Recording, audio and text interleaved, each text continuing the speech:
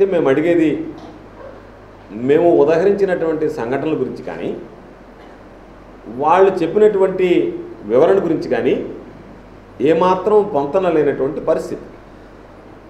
మేము లేవనెత్తినటువంటి అంశాలు వేరు మీరు వివరణ ఇచ్చినటువంటి అంశాలు వేరు. అయితే దానికన్నా ముందు వివరాల్లోకి పోయడానికన్నా ముందుగా జిల్లా పరిషత్ చైర్మన్గా ఐదు సంవత్సరాలు పనిచేశాను. శాసనసభ్యుడిగా నాలుగు సంవత్సరాలు పూర్తి చేసుకున్నాను.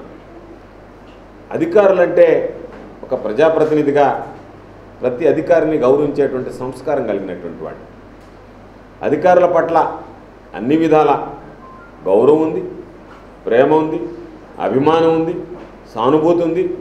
కాబట్టి అధికారులని గౌరవించేటువంటి సాంప్రదాయం మరొకరు నాకు చెప్పవలసినటువంటి అవసరం లేదు అని చెప్పి చెప్పే సందర్భంగా తెలియజేస్తున్నాను.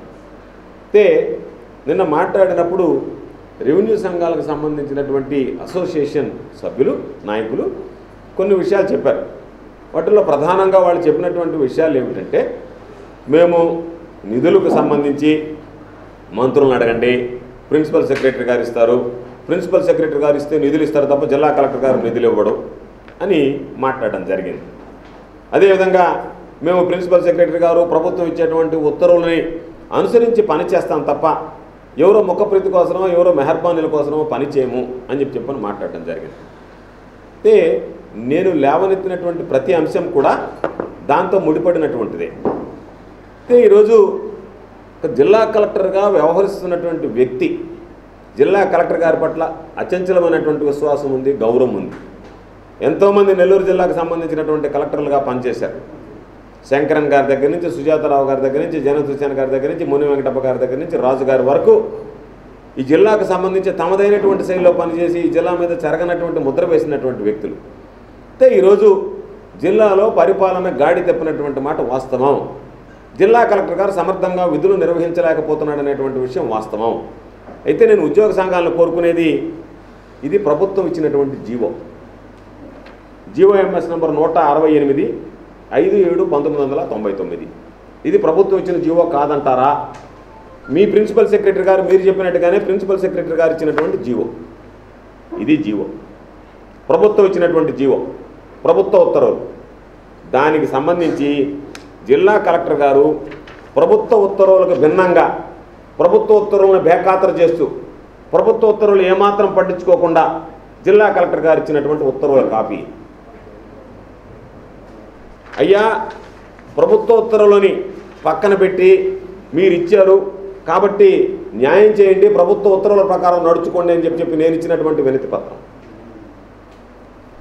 కలెక్టర్ గారు ప్రభుత్వానికి సంబంధించినటువంటి నియమ నియామకాలను బుట్టదాఖలు చేసి ప్రభుత్వ ఉత్తర్వులను పక్కన పెట్టి ఎవరి మెహర్బానీ కోసమో ఎవరి ఇష్టానికోసమో ఎవరిని సంతృప్తి పరచడానికో నీ ఇష్ట ప్రకారం ఉత్తర్వులు ఇస్తే ఆ ఉత్తర్వులు పొరపాటు చేశారు మీరు అని చెప్పి చెప్పన్నా పట్టించుకోకపోతే హైకోర్టుకి వెళ్ళి హైకోర్టులో కలెక్టర్ గారు ఇచ్చినటువంటి ఉత్తర్వులు ఏదైతే ఉన్నాయో ఇవి ప్రభుత్వం ఇచ్చినటువంటి ఉత్తర్వులకు భిన్నంగా విరుద్ధంగా ఉన్నాయి కాబట్టి వాటిని సస్పెండ్ చేస్తూ కోర్టు ఇచ్చినటువంటి ఆర్డర్. ఇప్పుడు చెప్పండి మీరు. జిల్లా కలెక్టర్ గారు నిబంధనల మేరకు పనిచేస్తున్నారనేటువంటి విశ్వాస నమ్మకం మీకుందా? ఈరోజు నేను మీ దగ్గరికి పంపిస్తాను ఈ కాగితాలు. మీరు చూడండి. మీరు చదవండి. మీరు చదివి జిల్లా కలెక్టర్ గారు న్యాయబద్ధంగా వ్యవహరిస్తున్నారు అని అంటే నేను చెప్పినటువంటి దానికి మీరు ఏ విధంగా మాట్లాడమంటే ఆ విధంగా చెప్తా. జిల్లా కలెక్టర్ గారు వీటికి భిన్నంగా వ్యవహరించడానికి ఏమి జిల్లా కలెక్టర్ గారికి ఉన్నటువంటి ఆలోచన ఏంటి? జిల్లా కలెక్టర్ గారు ఏమి సాధించడానికి ఈరోజు దీనికి సంబంధించినటువంటి భిన్నంగా వ్యవహరించాల్సినటువంటి పరిస్థితి ఏర్పడింది. మన మీటింగ్లో చెప్పాం అయ్యా జిల్లా కలెక్టర్ గారు ఆయన దృష్టికి తీసుకువెళ్ళాం. అయ్యా జిల్లా కలెక్టర్ గారు ఇదిగో చూడండి దీనికి సంబంధించినటువంటి ఫోర్జరీ డాక్యుమెంట్లతో ఇచ్చినటువంటి పత్రాలు ఇవి.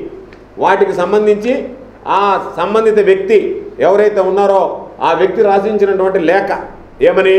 నేను ఇవ్వలేదు రెజల్యూషన్స్ తీర్మానాలు ఇవ్వలేదు అని చెప్పి చెప్పాను. దానికి సంబంధించి ఈరోజు పాపం ఒక వ్యక్తి వచ్చి అయ్యా నా చేత దొంగతనంగా రాయించారు. నేనే రాశాను.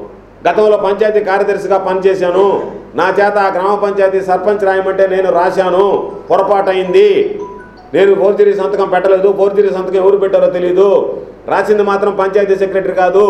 మాజీ పంచాయతీ సెక్రటరీ అయినటువంటి నేను నా చేత రాయించారు. రేపు ఏదన్నా జరిగితే నాకేదన్నా నా కొంప మీదకి వస్తుందేమో నా నెత్తి మీదకి వస్తుందని ముందుగా వాంగ్మూలం ఇచ్చామని ఇచ్చినటువంటి ఇది వాంగ్మూలం. ఇవన్నీ జిల్లా కలెక్టర్ గారి దృష్టికి నేనే స్వయంగా తీసుకెళ్ళా. సంవత్సరం రోజులుగా పంచాయతీ మీద జరిగినటువంటి అవకతవకల గురించి గ్రామస్థాయి నాయకులు వెళ్ళి జిల్లా కలెక్టర్ గారి కార్యాలయం ముందు ధర్నా చేయడం జరిగింది. దీనికి సంబంధించి మీరు వినతి పత్రాలు ఇస్తే జిల్లా కలెక్టర్ గారు విచారణ చేయిస్తారు అంటే వీటి మీద ఏమి మాట్లాడాలి ఎన్నిసార్లు వినతి పత్రాలు ఇవ్వాలి. మీకు ఇష్టం వచ్చినటువంటి వాటి మీదనే విచారణ చేయిస్తాము. మీకు ఇష్టం రానటువంటి వాటి మీద విచారణ చేయించమని చెప్పి చెప్పి జిల్లా కలెక్టర్ గారు మాట్లాడేటువంటి పరిస్థితి ఏర్పడితే ఎవరికి సమాధానం చెప్పుకోవాలి? అంటే అధికార పార్టీకి సంబంధించినటువంటి వ్యక్తులు కొమ్ము కాచి వాళ్ళు చెప్పినటువంటి వాటి మీద మీ మీద ఏదైనా పొరపాట్లు చేస్తే విచారణ జరిపిస్తాం. మిగతా వాటిలో వాళ్ళు అడ్డుకుంటే విచారణను అడ్డుకుంటాం. ఆ విచారణ జరిపించాం అనేటువంటిది మీ విధానమా? జిల్లా కలెక్టర్ గారు అదే విధంగా ప్రవర్తిస్తారు కాబట్టి మీరు కూడా అదే విధంగా ఒప్పుకొని తీరాల్సిందనేటువంటి పరిస్థితి. జిల్లా కలెక్టర్ గారు మీరు చెప్పారు జిల్లా కలెక్టర్ గారు దేశంలోనే నెంబర్ వన్ అన్నారు. మేము జిల్లా కలెక్టర్ గారు తెలివితేటల గురించి మాట్లాడటంలే. జిల్లా కలెక్టర్ గారు సామర్థ్యాల గురించి శక్తిని గురించి పరిపాలన విధానాన్ని గురించి మాట్లాడుతున్నాం. ఈరోజు జిల్లా కలెక్టర్ గారు పునాది అనేటువంటి ఒక పథకాన్ని తీసుకొచ్చాడు. విద్యార్థులకు సంబంధించి నేను మేలైనటువంటి మార్పులు చేస్తానన్నాడు. మీరు చేసినటువంటి మార్పులు సత్ఫలితాలు ఇచ్చాయా దుష్పరిణామాలకు తోడు చేసుకున్నాయా? ఈ జిల్లా ఎప్పుడూ లేనటువంటి విధంగా మీ పరిపాలనలో టెన్త్ క్లాస్ పరీక్షల్లో పదమూడో స్థానానికి పడిపోయింది. ఇది వాస్తవమా కాదా? జిల్లా కలెక్టర్గా మీరు తీసుకున్నటువంటి నిర్ణయాల వల్ల జరిగేటువంటి లోపాలకు మీరు బాధ్యత వహిస్తారా? లేదు జిల్లా కలెక్టర్ గారు ఏమి చేసినా సరే మీరు ఎవరు ప్రశ్నించేదానికి లేదు అని చెప్పి చెప్పి ఉద్యోగ సంఘాలు చెప్పదలుచుకున్నాయా? సభ్యులు వెళ్ళి ఏ ప్రోటోకాల్తో ఈరోజు అధికార కార్యక్రమాల్లో పాల్గొని అధికార కార్యక్రమాలు ప్రారంభిస్తున్నారని చెప్తుంది ఇదో తెలియనటువంటి విషయం కాదు. మీ దృష్టికి అనేక సందర్భాల్లో తెచ్చాం. దీనికి ఉద్యోగ సంఘాలు సమాధానం చెప్పాలి. జిల్లా కలెక్టర్ గారు ప్రోటోకాల్ ఇన్ఛార్జిగా వ్యవహరిస్తూ కుటుంబ సభ్యులు వెళ్ళినా సరే కుటుంబ సభ్యుల కార్యక్రమాలు అధికార కార్యక్రమంలో పాల్గొనవచ్చు అనేటువంటి జిల్లా కలెక్టర్ ఆలోచన మీరు తప్పపడతారా సమర్థిస్తారా ఈరోజు జిల్లా కలెక్టర్ గారు నేను సూటిగా ప్రశ్నిస్తున్నా. మీరు అంటున్నారు జిల్లా కలెక్టర్ గారి మీద అనుచిత వ్యాఖ్యలు చేస్తున్నారు గౌరవం లేదు ఒక వెంకయ్యనాయుడు గారి సభ జరిగింది. శాసనసభ్యుడిగా నేను సభాధ్యక్షుడిగా వ్యవహరించాను. శిలాపలకంలో సభాధ్యక్షుడిగా శాసనసభ్యుడి పేరు పెట్టారు. జిల్లా కలెక్టర్ గారు శాసనసభలో శాసనసభ సభ్యుడు కాకుండా ఆ సభలో అధ్యక్షత వహించాడు. ఒక్క నిమిషం పడుతుందా జిల్లా కలెక్టర్ చేతిలో నుంచి మైక్ తీసుకోవడానికి? ఒక్క సెకండ్ పడుతుందా జిల్లా కలెక్టర్ చేతిలో నుంచి మైక్ తీసుకొని? మీరు ఎవరండి దీన్ని సభాధ్యక్షుడిగా వ్యవహరించడానికి? నేను సభాధ్యక్షుడిని చెప్పడానికి? ఎందుకు చేయలేకపోయాం? జిల్లా కలెక్టర్ గారిని చూసి భయపడి కాదు. జిల్లా కలెక్టర్ని చూస్తే ధైర్యం లేక కాదు. జిల్లా కలెక్టర్ స్థానానికి గౌరవించాం. మీ స్థానానికి అపఖ్యాత చాకూడదని చెప్పి ఆలోచన చేశాం.